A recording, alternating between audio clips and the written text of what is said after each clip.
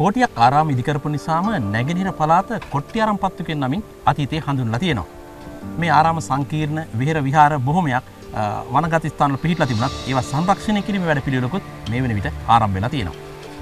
මේ විහාර ඉදි කරලා තියෙන්නේ සද්ධාතිස්ස රජතුමාගේ සමය කියලා පුරාවිද්‍යාඥ තහවුරු කරලා තියෙනවා.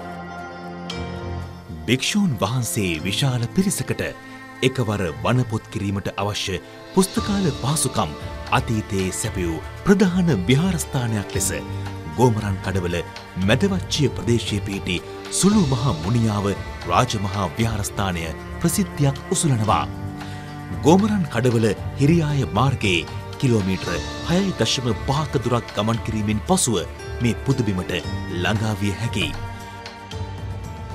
රමණීය පරිසරයක් ආශ්‍රිතව ගොඩනැගූ මේ විහාරස්ථානයේ බොහෝ නෂ්ටාවශේෂ විසිරී පවතින අතර ඒ භූමියට යාපද විශාල බැවද ගමයි පන්සලයි බැවයි දාගැබයි සංකල්පය යටතේ නිර්මාණය වී තිබෙනවා.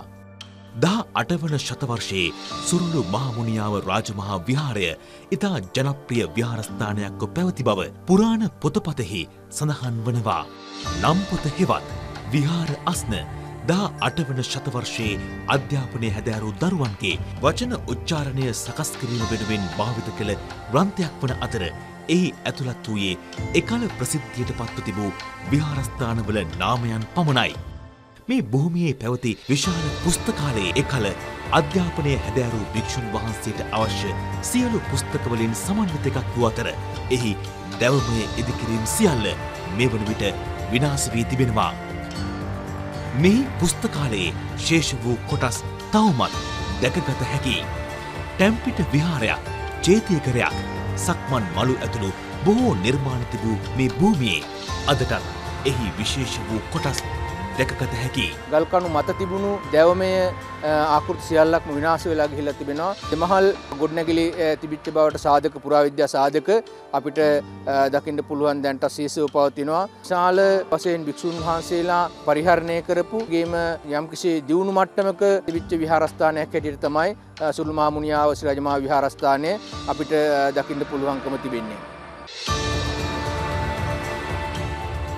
අතීතයේදී කොට්ටියාරම් පත්තුව ලෙසින් හැඳින් වූ ත්‍රිකුණාමල දිස්ත්‍රික්කයේ බොහෝ වෙහෙර විහාරස්ථානවල ආගමික කටයුතු වෙනුවෙන් භික්‍ෂූන් වහන්සේ වැඩම කරවීම මේ විහාරස්ථානය කේන්ද්‍ර කරගනිමින් සිදුවූ බවද ඉතිහාස තොරතුරුවල දැක්වෙනවා.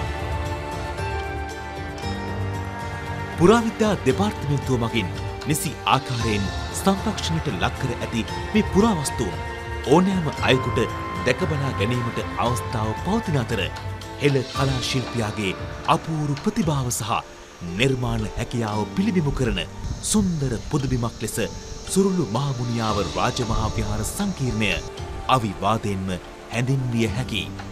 එහි සංචාරයට පැමිණෙන ඔබට අවට පරිසරයේ සුන්දරත්වය බිඳගැනීමටද පහසුකම් පවතිනවා.